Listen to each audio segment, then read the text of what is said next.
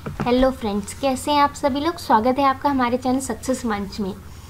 आज GS paper one का point number seven करेंगे। बहुत दिनों से ये पार्ट पेंडिंग चल रहा था। शहरीकरण अर्बनाइजेशन हमें शुरू करना था। आ, इसके संदर्भ में जो जो समस्याएँ हैं वो सारी हमें देखनी थी। तो आज हम इसका पार्ट वन करेंगे। बहुत दिनों बाद मैं ये जीएस पेपर वन की वीडियो लेकर आई हूँ, उसके लिए सॉरी कहती हूँ कि आप लोगों को इतना वेट करना पड़ा इस वीडियो का, लेकिन आज से कोशिश मेरी पूरी रहेगी कि आप लोगों को वेट ना करना पड़े और ये वीडियोस रेगुलर चलती रहें। साथ ही साथ जल्द ही मैं जीएस पेपर फोर का भी जो वीडियो पेंडिंग रह गए हैं फटाफट लाने की कोशिश करूँगी। और इसके साथ आर ओ आर ओ का जो हिंदी का पेपर है, उसकी तैयारी हम पूरी करवा रहे हैं। उसको आप हमारे चैनल के डिस्क्रिप्शन बॉक्स में जाकर देख सकते हैं। वहाँ पर प्लेलिस्ट बनी हुई है। वहाँ अपने चॉइस के जो भी सीरीज़ चल रही हैं, वो चूज़ करके और आप उसका लाभ उठा सकते हैं आप लोग। इसके लिए हमारे चैनल को सब्सक्राइब कीजिए, ज़्यादा से ज़्यादा और शेयर कीजिए ताकि जिन लोगों को इसकी ज़रूरत हो, वो उनको मेरे चैनल के बारे में जानकारी मिल सके और उसके लाभ वो लोग उठा सकें।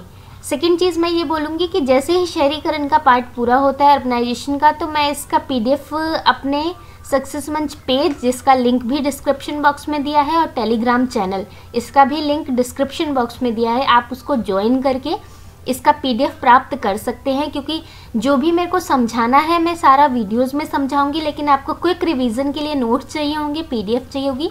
तो आप वहाँ से जाके उसे देख सकते हैं। बाकी बहुत सारी सीरीज़ प्री के लिए मेंस के लिए एमपी के लिए काफ़ी सारी चैनल्स पे चल रही हैं तो उसको आप देखना प्लीज़ मत भूलिएगा। ज़रूर मेरे चैनल पे विज़िट करिए और सर्च करिए अपने पसंद की सीरीज़ को। चलिए शुरू करते हैं। शहरीकरण का पार्ट एक। सबसे पहले मैं आपको विषय सूची बता दूँ कि हम लोग इसमें क्या क्या पढ़ेंगे। तो हम इसमें पढ़ेंगे कि शहरीकरण की अवधारणा क्या होती है? मीन्स शहरीकरण का मतलब होता क्या है?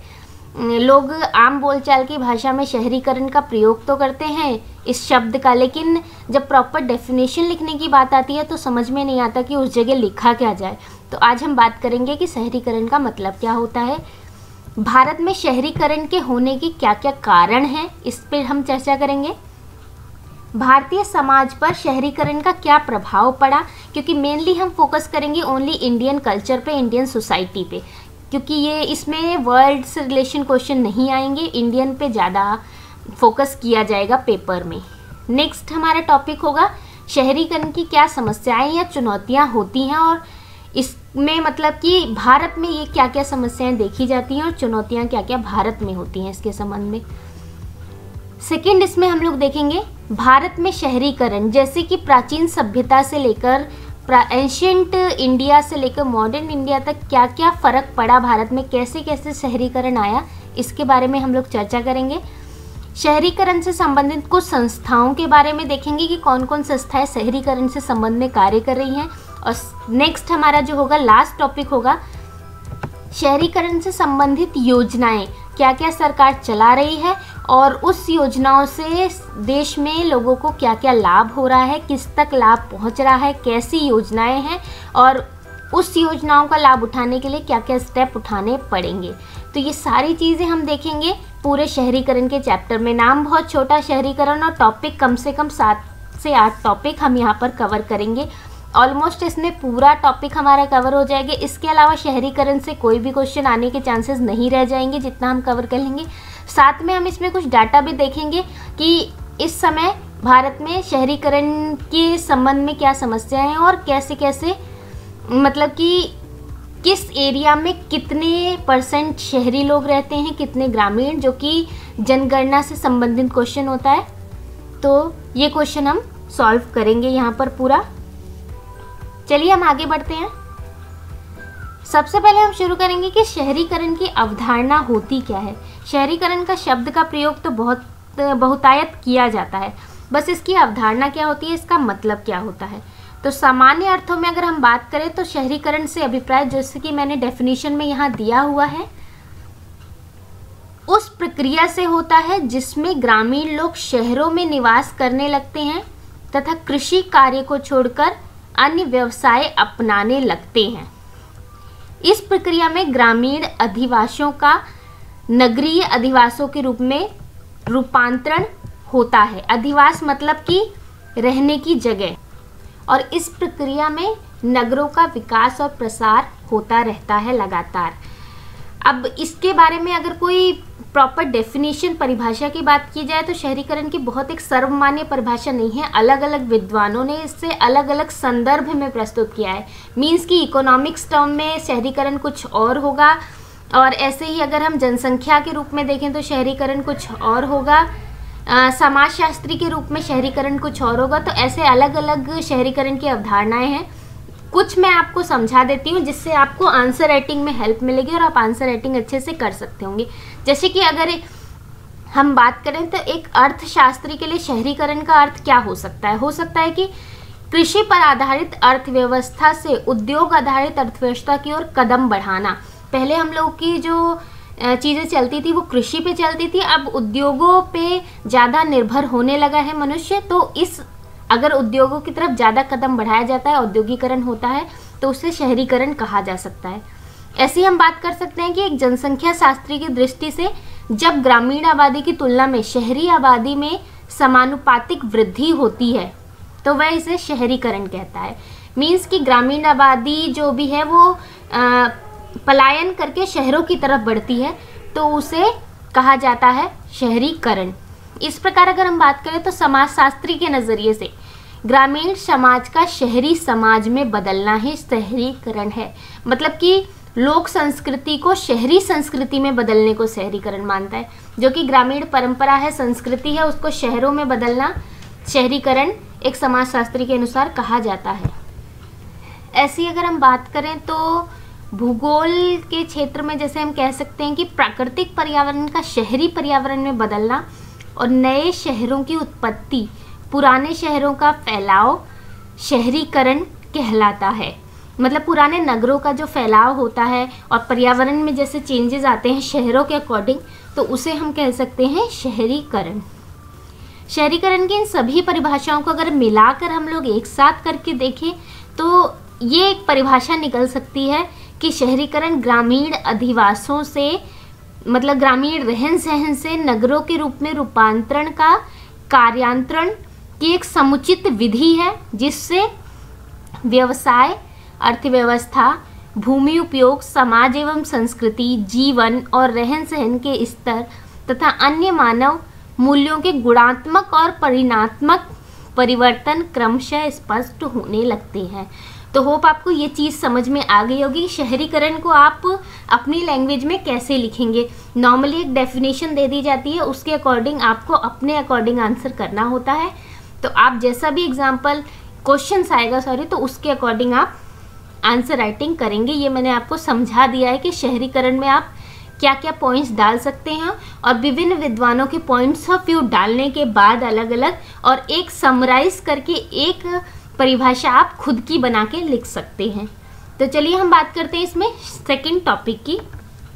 तो इसमें सेकंड जो दिया हुआ है, इसमें है हम कारण के बारे में चर्चा करेंगे कि भारत में शहरीकरण के क्या कारण है। तो वैसे तो बहुत सारे कारण हैं, लेकिन इन कारणों को मैंने दो फैक्टर्स में डिवाइड किया है। एक होता है पुश फैक्टर एक होता है पुल फैक्टर अगर हिंदी में बात करें तो इसे कहेंगे प्रतिकर्ष कारक और एक खिंचाव संबंधी कारक। अब सबसे पहले हम बात करते हैं प्रतिकर्ष कारक अथवा पुश फैक्टर की। तो इसमें होता है कि गरीबी, बेरोजगारी और गाँव का जो निम्न रहन सहन होता है, उससे त्रस्त होकर मतलब कि अपनी जो जीवन की परेशानियाँ हैं, उससे घबराकर अगर जो भी जनसंख्या है, वो शहर की तरफ़ भागती है तो उसे कह सकते हैं हम पुश फैक्टर।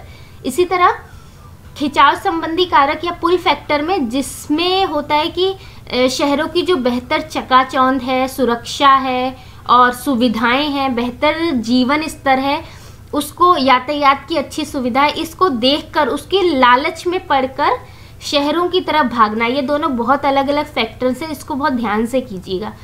तो शहरों की तरफ़ भागते हैं तो उसे कहा जाता है पुल फैक्टर या खिंचाव संबंधी कारक मतलब कि शहर अपनी ओर ग्रामीण जनसंख्या को खींचता है पुल करता है। हालाँकि जैसे गाँव से शहरों की ओर प्रवासन में दोनों कारकों का अलग अलग अनुपात में और मिला जुला योगदान होता है, लेकिन भारत के संदर्भ में अगर हम बात करें तो मेन जो पुश फैक्टर है ये, प्रतिकर्ष कारक, ये मेन मेजर रोल यहाँ पर वो दिखाता है, ये इसका प्रभाव बहुत ज़्यादा होता है भारत के संदर्भ में, क्योंकि यहाँ गरीबी बहुत ज़्यादा है, बेरोजगारी है, गाँव का जो रहन सहन बहुत ज़्यादा निम्न है तो इसीलिए प्रतिकर्ष कारक पुश फैक्टर यहाँ पर मेजर रोल निभाता है। जैसे जनसंख्या में बहुत ज़्यादा वृद्धि होने से ग्रामीण क्षेत्रों में कृषि योग्य जो भूमि है, उसका आकार जो दिनों दिन कम होता जा रहा है, और इतनी भी भूमि अब लोगों के पास नहीं बची है कि वो अपना परिवार का ठीक ढंग से भरण पोषण कर पाएँ। और ऐसे ही अगर हम रोज़गार की बात करें तो स्थानीय स्तर पर रोज़गार की अनुपलब्धता मतलब कि जहाँ वो लोग रह रहे हैं, वहाँ रोज़गार की प्रचुर मात्रा में उपलब्धता नहीं है, ये भी स्थिति उन्हें परेशान करती है।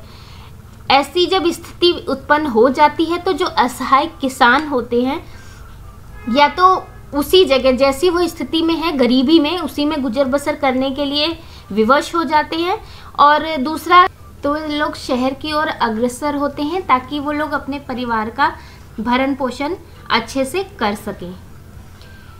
इस ग्रामीण से शहरी प्रवेशन के लिए जाति प्रथा भी एक महत्वपूर्ण कारक हम लोग कह सकते हैं इसमें, क्योंकि निम्न जाति के जो सदस्य होते हैं वो आर्थिक रूप से बहुत ज़्यादा कमज़ोर होते हैं और उन्हें ग्रामीण समाज में बहुत ज़्यादा प्रताड़ित किया जाता है।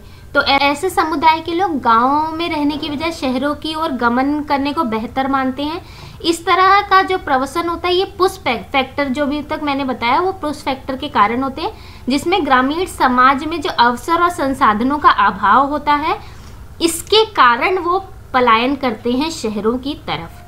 तो नेक्स्ट हम पुल फैक्टर के बारे में बात करते हैं। इसका भी शहरीकरण में बहुत अहम योगदान होता है, जैसे कि शहरों में लगातार होने वाले औद्योगिक विकास के कारण।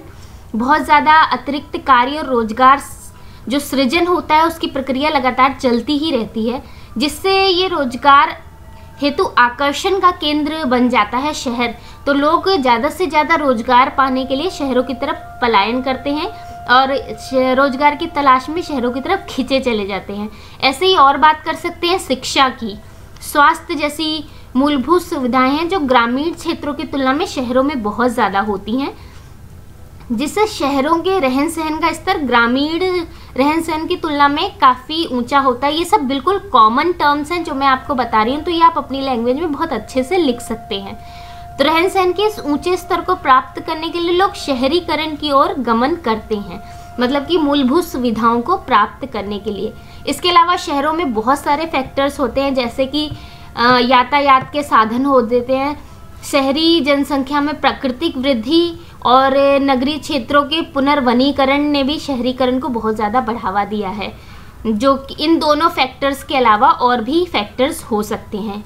और भी मैं इसमें बता दूँ कि जैसे कि जब देश का विभाजन हुआ था तो उस समय पश्चिमी पंजाब और पूर्वी बंगाल के लोगों ने देश के विभिन्न नगरों में शरण ली थी, जिससे कि नगर की जो जनसंख्या है, बहुत ज़्यादा बढ़ गई थी। और जो उस वक्त विस्थापित हुए लोग थे जिन, जो बेघर हो गए थे, उन्हें शरणार्थियों के पुनर्निर्माण के लिए मतलब कि उनको पुनर्वास करने के लिए, पुनः सहारा देने के लिए, घर बनाने के लिए नए नगरों की स्थापना की गई, जिससे कि नगरीकरण को बढ़ावा मिला। तो आप जितने भी कारक मैंने बताए, उसमें आप पुश फैक्टर, पुल फैक्टर और दो तीन और जो कारक एक्स्ट्रा में बता बताए मैंने अभी तो वो सब आप कारणों में लिख सकते हैं। तो आज हमने किया कि गरी ये जो शहरीकरण है, इसकी अवधारणा क्या है और उसके कारण क्या है भारत के संदर्भ में? आगे जो भी हमारे तीन चार पार्ट्स और बचे हैं, फटाफट वीडियो लाके मैं ख़त्म करूँगी। तो आपको आज का वीडियो कैसा लगा, समझ में आया या नहीं? कमेंट करके प्लीज़ बताइएगा। और ऐसे ही हमारे चैनल को देखते रहिए, अपना प्यार ऐसे ही देते रहिए। Thank you thanks for watching